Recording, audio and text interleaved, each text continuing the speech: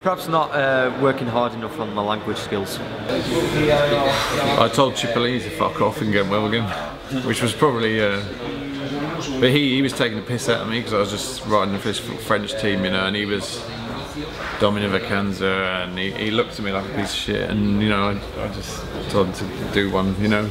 Biggest mistake I made as a Neo Pro, trained way too much just, I mean, I was like, oh, I'm, I'm a pro now, I gotta train like a pro, and I tried to do training that, you know, a 30 year old pro could do, and just shattered myself. to say that I lived in Italy for six seasons and three seasons prior to my Neo Pro, my Italian wasn't really good enough to understand the team instructions at times.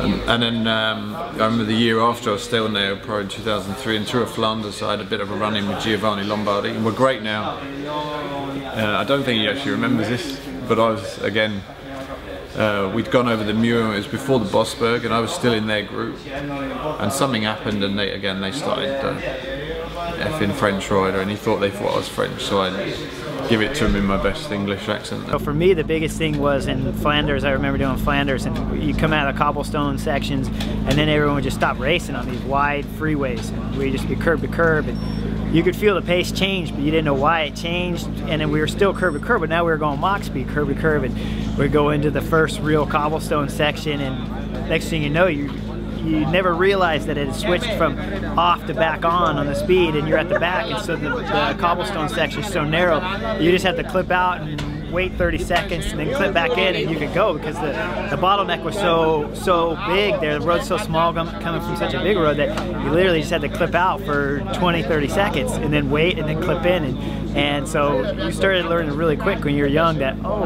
okay it's it's you always have to pay attention. There's never a time when you can let up unless of course you know the course. But if you don't know the course you always got to pay attention then you kind of had this huge uh, admiration for these older riders you know and you're kind of in awe of them a little bit to the point of um, not getting in their way in that. my first professional race was Tour Mediterranean and I remember Johan Museeuw was there, Bartoli and all this. And you just stayed out the way of them.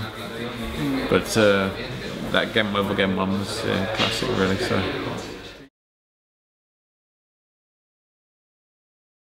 I mean, just keep your I, one bit of advice would be just keep your keep your eyes open you know it's you learn so much your first year as a pro that you know it's it changes you as a rider if you if you learn all the lessons from it. Uh, definitely work hard and try and understand the communication of the team. You taught Pippo English then didn't you?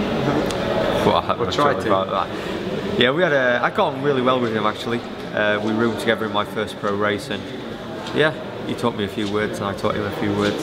Still speak to him? When I see him, yeah. Be where the good guys are.